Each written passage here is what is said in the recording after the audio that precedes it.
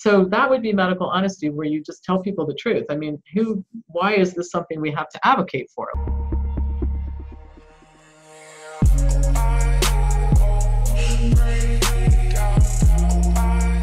Well, hello, Dr. Popper. First of all, thank you so much for joining me here on Guilt Free TV. I've been wanting to bring you here for a long time, and I'm happy it's finally happening. Well, me too. It's fun to meet new people. Isn't technology wonderful? We get I love it. all over the world, and it can be like we're in the same room, only we're not, right? We don't right. anymore. It's great. It is great. So, Dr. Popper, a naturopath, an internationally recognized expert on nutrition, medicine, and health, and the executive director of Wellness Forum Health. Tell us more about yourself and what is Wellness Forum Health for those that don't know? Um, Wellness Forum Health is a company that and that we, we specialize in something that nobody else does, and it's it's informed medical decision making. And um, it's a simple concept. It basically goes like this consumers, when they buy cars and houses and blenders and washing machines and television sets, they're, they're diligent. They, they check things out. Um, I mean, I've never had somebody say, I hate the house I live in, but the realtor said it's the one I had to buy, you know, because they were the expert, right? We don't buy things that way. And then people go to a doctor and the doctor says, you need, you know, an $80,000 surgery. And people go, okay. There's no sense whatsoever. So, so what we do is we help consumers to look at risks and benefits of anything that they're, they've done or are thinking of doing diet, supplements, drugs, test procedures um, to determine if it's a good idea or not based on their perception of risk and benefit. Now, we, ta- we train practitioners to engage in this type of practice too. Now, I'll tell you one of the reasons why I love this is because when people see that a lot of the stuff they're being told to do by doctors isn't very effective, they become remarkably interested in changing their diet and lifestyle habits. And so it takes them to a place that we want them to be through logic really. And yeah, that's yeah. that's wonderful. Yeah well i love how passionate you are about health and that you believe that no matter how old you are you can have a strong healthy life. I mean you're one of those yeah you're one of those unique individuals that isn't interested in being politically correct which i love. You know you're, you're, you're known for your straight talk and i truly appreciate that when we're talking about something as uh, serious as people's lives. Can you talk about what you like to call medical honesty? Well, the problem with it, there's a lot of medical dishonesty, but medical honesty um, and, and, you'll find this really interesting, but I did some research on this, and the, the American Medical Association says that what a doctor is supposed to do is to inform the patient fully of the risks and benefits associated with what's being recommended, the alternatives, even if not offered by the doctor, and the consequences of doing nothing at all. Mm. And that would truly be medical honesty because then the consumer could look at this and say, well, based on my value system, I think that the risk I'm going to take is worth the benefit I'm going to get. Okay.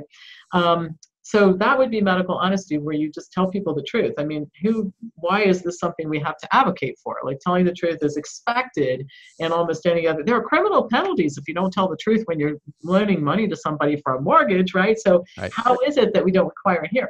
So medical honesty is just letting people know their options so that they can decide. It's not doing what i want to do what i think is best. It's really doing what you think is best based on your value system.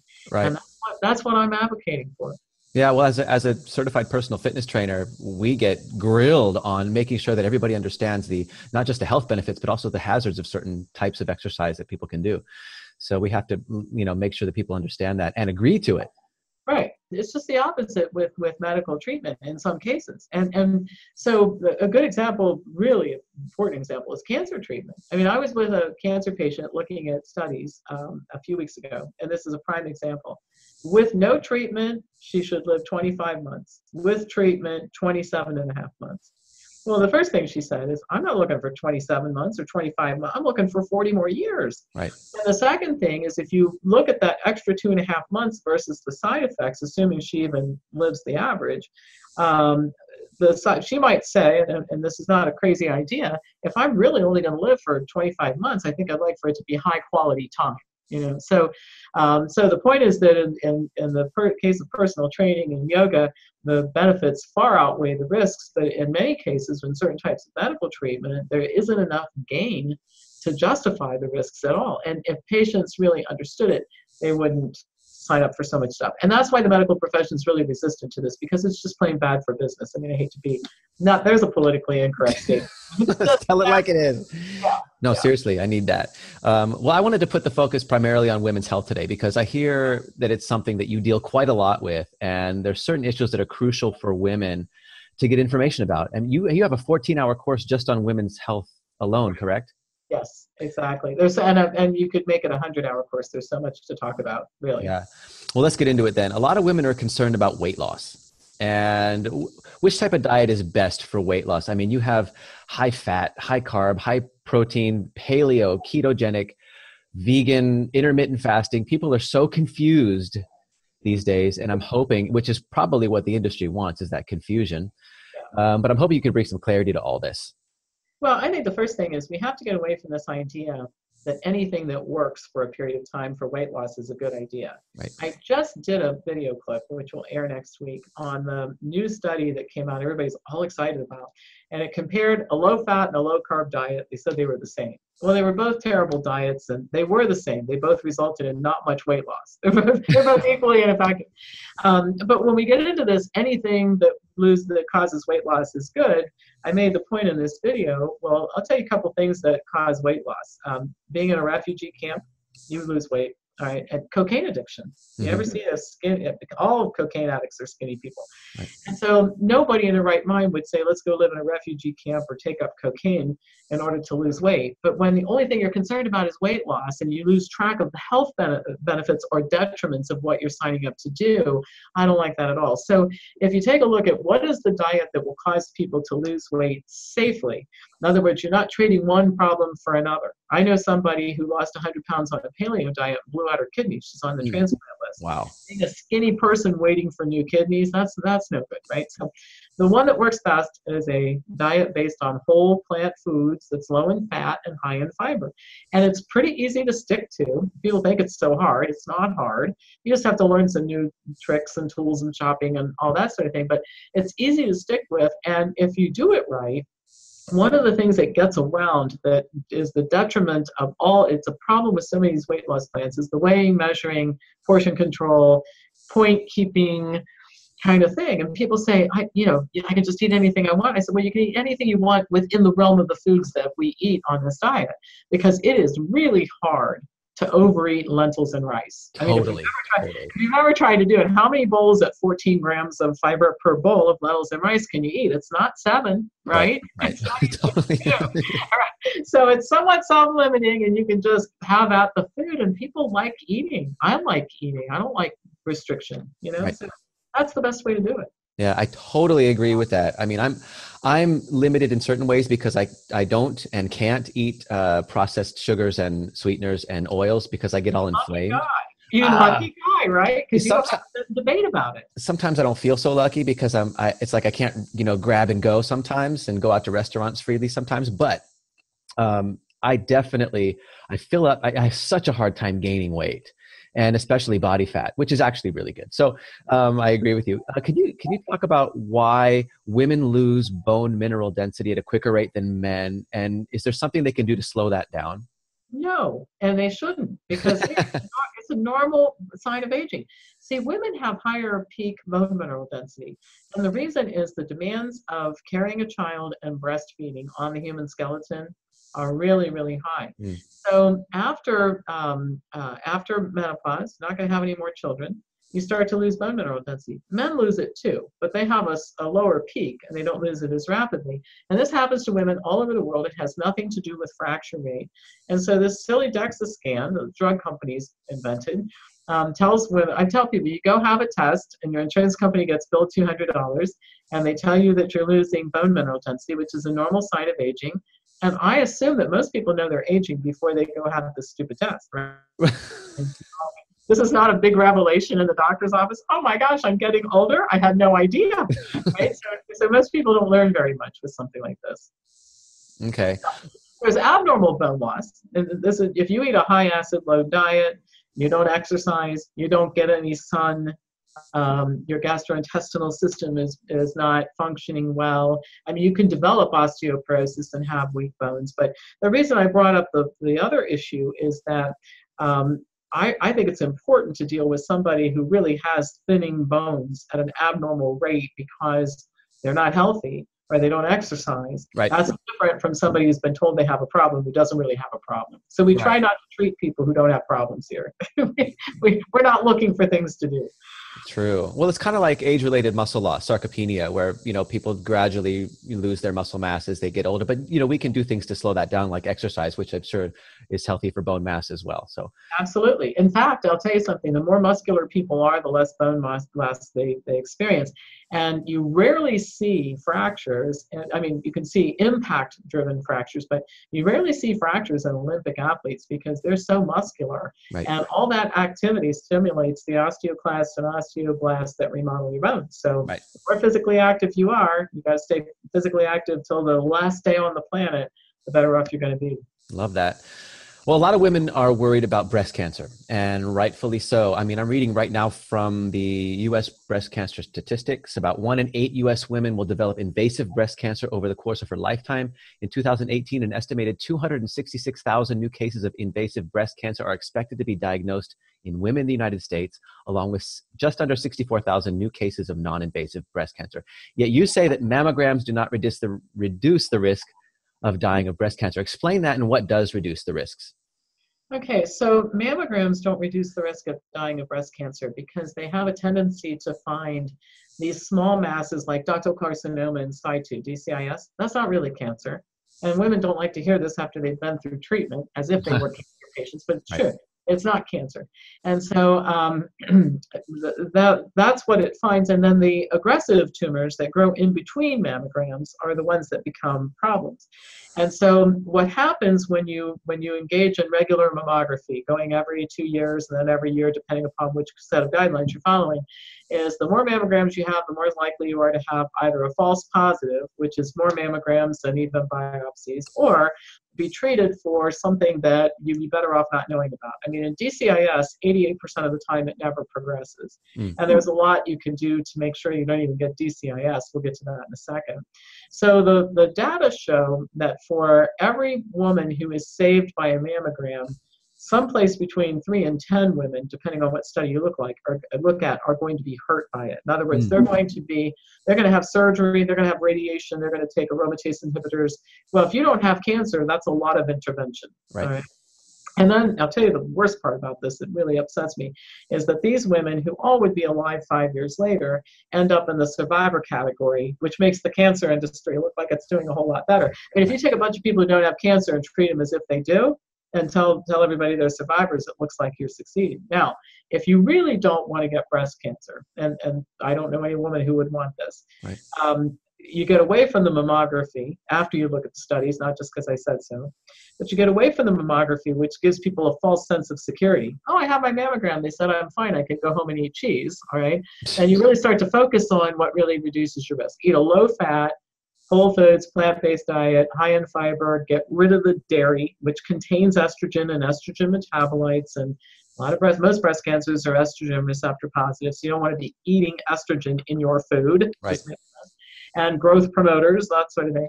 And, and that, and exercise, stay lean. Those are your best protections against breast cancer. And you can't reduce the risk entirely, but you look around the world and you don't see as much breast cancer in Okinawa, for example, as you see in North America. Right, right. Well, I want to stay on this topic because a lot of women stay away from soy, you know, like food, you know, soy products for fear of phytoestrogens. Now, I know two women in my close circle, one that had breast cancer and one that had, well, what they called precancerous cells. I think you just CIS, yes. in the breast tissue. Now, their doctors didn't mention anything about staying away from dairy and other animal products, but they sure are afraid of soy. And when they and, and they were even told to stay away from it. What are your thoughts on soy products such as edamame, soy milk, tofu, tempeh, the more whole foods and the ones that are closer to whole foods? Yeah, well, they're more protective than not protective. And we have a great deal of evidence. First of all, I- don't believe in magical foods. So, Right. so, I, so I tell people, listen, you know, eating soy doesn't confer some special benefit on people. It's the dietary pattern that you want to pay attention to. Mhm. Having said that, where we do really see some interesting studies is in adolescent girls. We have some really good data on adolescent girls. And in a dose dependent manner, uh, girls who eat soy products during whole soy products during their um, uh, adolescent years have a significant reduction in the risk of breast cancer. But we really don't see studies that show that consuming soy increases the risk. So what I tell women who are asking about this, if you like soy foods, you should eat them. You could have tofu in your stir fry. You can have edamame. You can put soy milk on your cereal. If you don't like soy foods, this isn't a soy promotion diet. Right. You could grow old and live to be 105 and never touch soy food as long as you live. Right. What does aggravate me, and you mentioned this, is the is the fact that medical doctors will tell women don't eat soy, and they don't say anything about the extra weight that they carry because fat cells produce hormones. They Right. are converted to estrogen in the bloodstream. They don't say anything about the dairy products. They don't say anything about the high fat intake, nothing about the low fiber diet, nothing about exercise. They don't say anything about that. And so these women are misled, talk about honesty in medicine, they're misled into thinking that everything else can stay the same. I stay away from edamame and I'm going to somehow have a benefit, and that's not going to happen at all. I totally agree. I mean, I, I hear it all the time, and it and it blows me away while they're eating, you know, pasta with cheese all over it. Yeah. Um, um, can can women expect any changes in their menstrual cycle or symptoms of their menstrual period by going plant based? Absolutely. You know, Neal Barnard at Physicians Committee for Responsible Medicine has done some wonderful studies on women and menstrual cycles and menopause and this sort of thing. Um, when you eat a high, a, a very high fiber, low fat plant based diet like the one that you and I eat, um, what happens is you lose weight first of all, and Right. that lowers estrogen levels. You stop eating estrogen, and that lowers estrogen levels. Um, and then the high fiber means that you eliminate well and you get rid of estrogen metabolites that are going out in the feces. And um, when that happens, you see a lot of changes, one of which is reduction in menstrual bleeding, reduction or elimination of PMS. Infertility sometimes resolves. We've had a lot of cases of that here. I'm sorry to interrupt. Did you just say reduction or elimination of PMS? Yeah. Okay, if that doesn't get you to make a change, I mean, really, Yeah, well, and I tell women all the time, you know, the average woman, is, you know, have a few hundred menstrual periods in her lifetime. Do you think God really intended for us to be miserable 700 times? I mean, come on. yeah, yeah. to be something that, that takes up a lot of your time.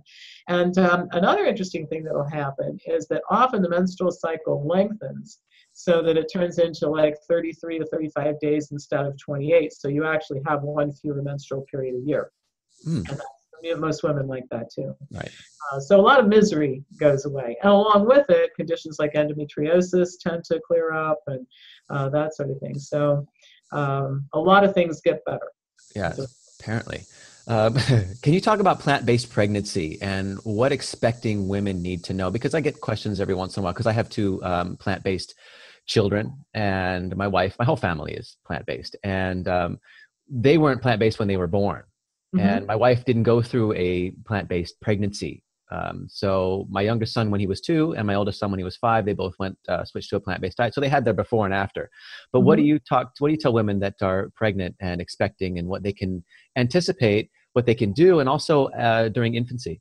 Well, I think the first thing is that we, we've got to stop thinking of pregnancy as a disease. I mean, a lot of, I, I have a good friend during her last pregnancy, you know, they, they want to do all this intervention. She said, I don't know if you've noticed, but I'm pregnant, not sick. Okay. So uh, that's the first thing. This is, you know, our bodies are specifically designed and engineered to carry and deliver children. This is not a disease. Um, eat well, exercise, um, and you don't need to take supplements in most cases. The diet will provide everything that you need. I mean, people think you got to take folic acid. Your, your, your folate needs can be made with a dozen spears of asparagus. I mean, this is not hard to do every day, right? Um, and if you eat right and exercise, several things will happen. One of the things is that um, you don't have much as you don't have as much weight gain. I mean, women. I've seen women who gain 50 pounds when they're pregnant. In Japan, they gain about 12. Right. Mm, mm. Um, the babies don't grow so big you can't deliver them vaginally. And vaginal delivery is very important for the health of the baby because that's how the baby acquires a microbiome. That's the biggest way in which the baby Wow. acquires a microbiome. Uh, so you don't grow a baby so big you can't deliver it. Um, the third thing is um, the, the babies have a taste for foods. I mean, we, we have some good research showing that moms who eat a wide variety of foods that are plant-based during pregnancy, the babies are easy to start feeding solid foods when it's time. They're not colicky, they don't fuss, particularly mm. moms who are vegan or, or eat a plant-based diet when they're breastfeeding. And the other thing is that um, you've never been through this, but women who have know what I'm talking about carrying a baby, delivering a baby, and then and then taking a home and caring for the baby after delivery. This is an Olympic event. All right, uh, they require a lot of attention, and so um, women in good health have no trouble doing this. I mean, I'll, I'll tell you a couple of stories from um, our yoga. studio. we have a hot yoga studio here, and uh, in one situation, a plant-based pregnant lady came to class at 9:30 in the morning on a Friday gave birth at 4.30 in the afternoon, nine months pregnant in a hot yoga class for 90 minutes.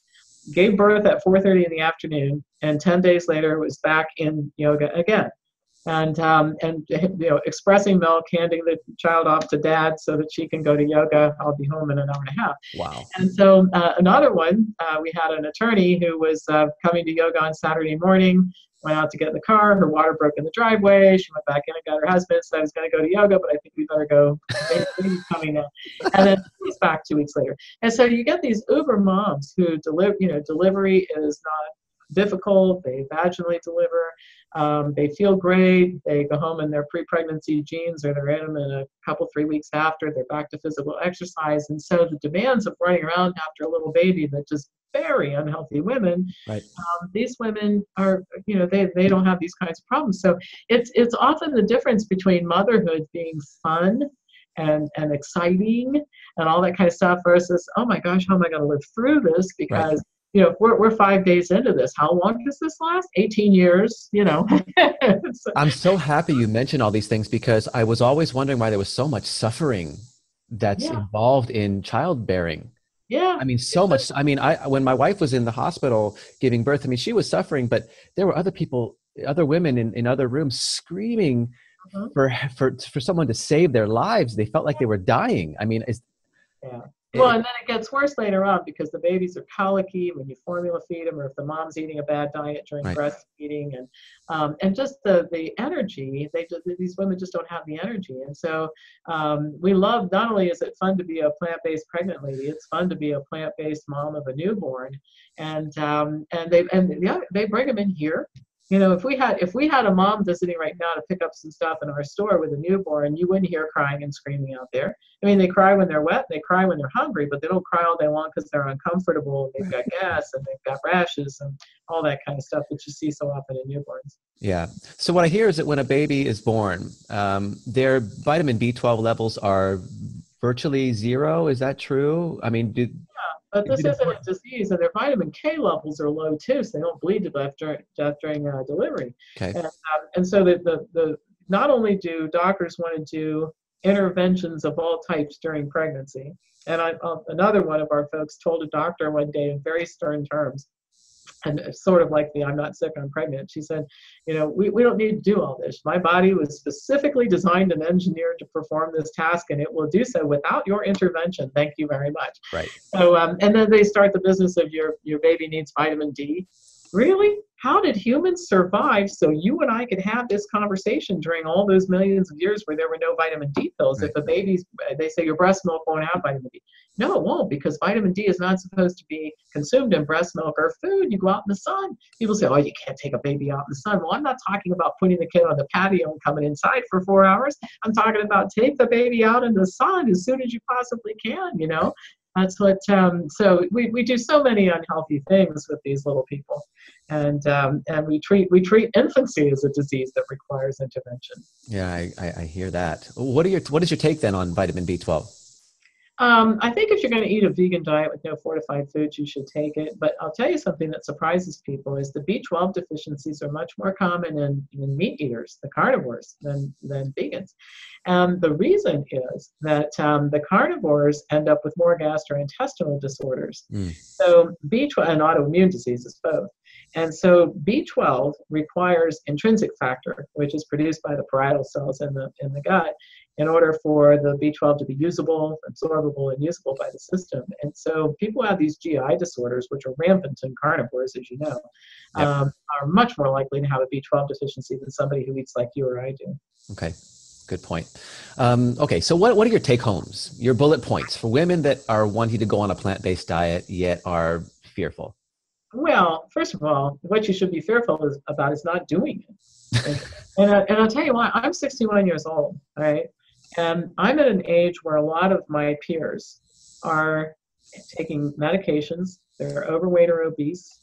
Um, they visit a lot of doctors. They've had procedures and body parts taken out, hysterectomies, right. and gallbladders removed, and and all this sort of thing. And um, um, I I really don't require it. The last time I made a, a claim on my health insurance was 1994. And it was because I got bit by my own cat when he got outside and I had an infection. The cat bites are really highly Nasty yeah. I had to take an antibiotic for a week, and that's the only uh, medical intervention I've had of any type since you know whenever. So um, the the key to freedom, you know, at my age, I'm, I'm planning to live for another 40 years. I have a lot of work to do, maybe longer if I can. But um, at my age, what what I think people are looking for is you don't want to end up disabled. You don't want to end up in a nursing home. You want to live until you die. Mm-hmm. You want to be active, mentally present, you know, and, and cognitively sharp. The ticket to that, you got to take care of yourself. And, and I've said this to many people, you know, women have a tendency to put everybody else first. And they often blur the line between being unselfish and selfless. Those are two different things, all right? Selflessness is when you take care of everybody but yourself for a long, long time. Mm-hmm. And in the process of doing this, you commit often the most selfish act of all, which is you get sick and then you become the burden on all the people you were trying not to impose on at all. You know, all the soccer games you went to instead of the gym because you couldn't be 15 minutes late and that sort of thing. It catches up with you. So the key to a healthy, long, happy, vibrant, do what you want to life is doing this. The fear is not in doing it, it's the fear is in not doing what's going to happen to you wow. if you don't eat well and take care of yourself. Wow, huge. Did y'all hear that? Man, this is resonating big time. Talk about your book, Food Over Medicine. Yeah, so Food Over Medicine is done in an interview style. I had a great co author. Glen Merzer is a marvelous author, and it was his idea to do it interview style. And people love that because it's totally. easy to understand and that sort of thing. It's been made into an audio book. Um, and then the food, I don't know if you saw Food Choices. The book for Food Choices is being sent out a chapter at a time. You can go, you can sign up if you want to get a chapter at a time, and then at the end we'll publish it. And I'm writing The Yo-Yo Effect, a new diet, a book or a movie on dieting that's coming out in June. So I'm writing a book on that one right now. Sweet, sweet. So where's the best place for people to get to find you? You know, we find your book and your services. Ah, go to wellnessforumhealth.com. My email address is pampopper at msn.com. I answer all my own emails, so feel free to email me with anything, questions you have, whatever. Yeah, you're very accessible. Um, I'm going to have that all linked down in the description for easy access for people. Dr. Pam Popper, thank you so much for being here. You and your work are truly appreciated. Thank you so much for having me. Yeah, my pleasure.